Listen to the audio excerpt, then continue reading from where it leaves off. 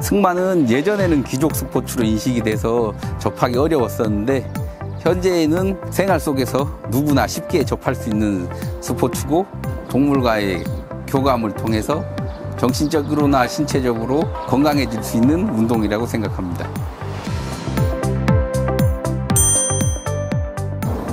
저희들이 그 선생님 한 분씩 아이들에게 있기 때문에 크게 위험하지도 않고 유소년 아이들 체형에 맞는 말들로 쓰고, 쓰고 있기 때문에 크게 위험한 부분은 없습니다.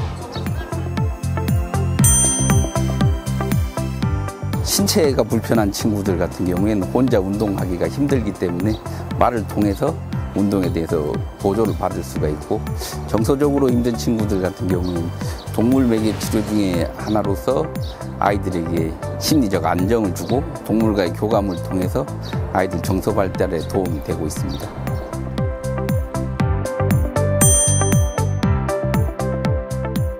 저희는 이제 유선으로 미리 예약을 해 주시고 스케줄을 잡은 다음에 오시면 되고 간단한 체험, 동물들에게 먹이 주기, 그리고 실내 마장에서 말 세 바퀴 타는 것은 만 원씩 받고 있습니다.